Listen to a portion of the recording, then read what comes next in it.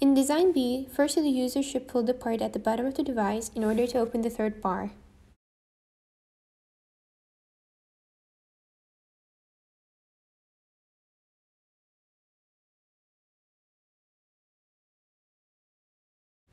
After that, user can adjust the length of the device by rotating the bar which is attached to a rack and pinion system inside.